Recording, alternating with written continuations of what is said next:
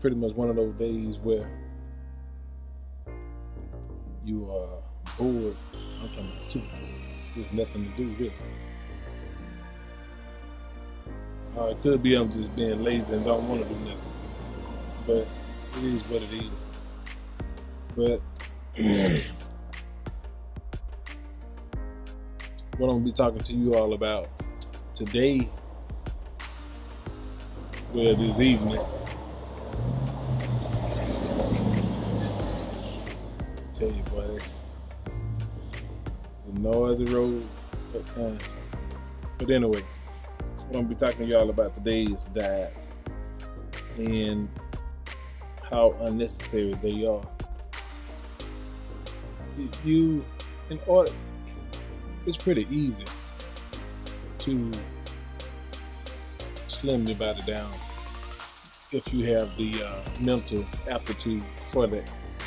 And the reason I say mental aptitude because it's basically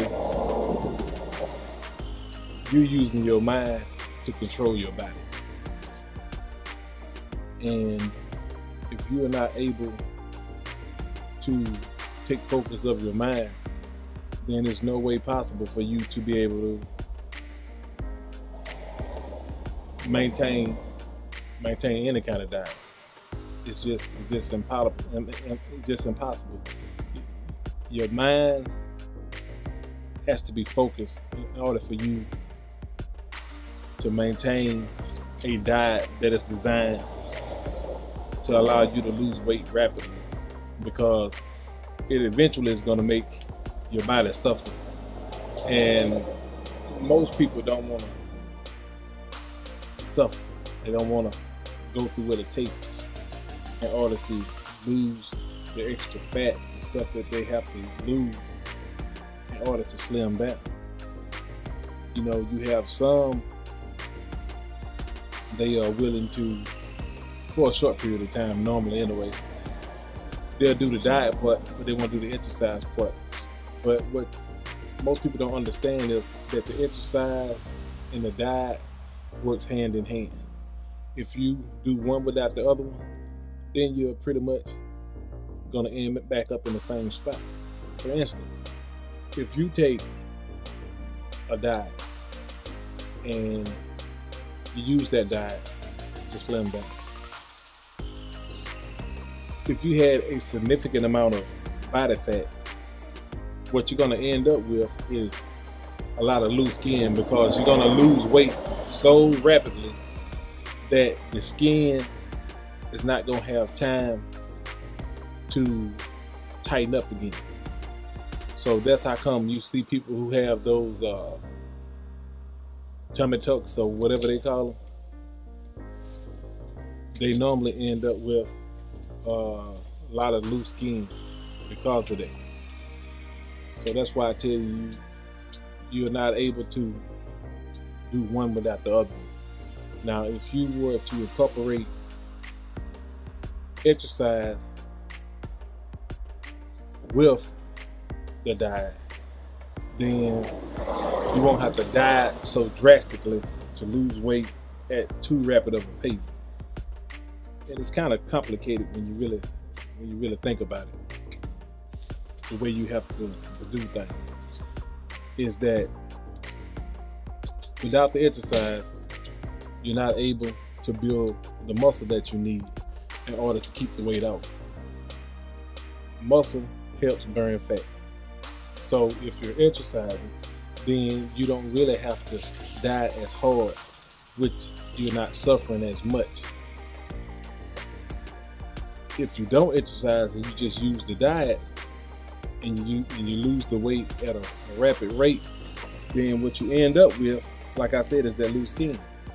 And if you use the exercise without controlling the amount of calories that you take in, then you have to really increase the amount of exercise that you do to burn off all those extra calories that you're not um, burning off.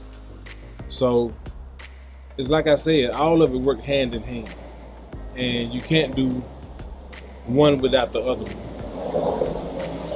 And in order to get your body to low enough body fat, you have to have the discipline to clean up your entire diet for a extended period of time. If you don't have the mental focus and the mental toughness to stay on the diet, then you're just pretty much gonna be wasting your time. So one without the other is nothing. You're gonna always be back where you started from. And what I suggest is lifestyle change. You know, basically what I mean about lifestyle change is that if you work out on a consistent basis and you moderate the amount of food that you take in, not necessarily certain foods, because when you're on those heavy diets, you know, you're cutting out sugars, you're cutting out fats, you're cutting out all this other stuff, which will cause you to lose weight at a rapid rate. But we're not talking about that because that's only temporary. We're talking about something that will allow you to maintain a healthy body weight and stay in decent physical condition forever. And that's a lifestyle change. And that's eating in moderation, not necessarily really governing what you eat. You just have to eat in moderation. Instead of eating a whole bag of cookies, you know, you eat four cookies. Stuff like that. Not saying that cookies are bad, because none of the food that you eat is actually bad for you. It's the quantity of the things that you eat is bad for you.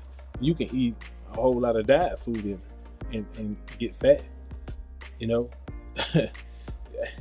it's just overeating.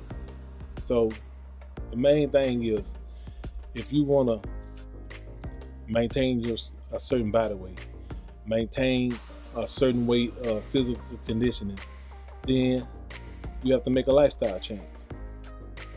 You know, then you won't have to fight with your brain so hard to stay on these uh, drastic diets that you have to in order to keep your body weight down. But that's my two cents about the whole thing. Take it for what it's worth. Also, hit that thumbs up button, also the subscribe button. And again, Thanks for watching.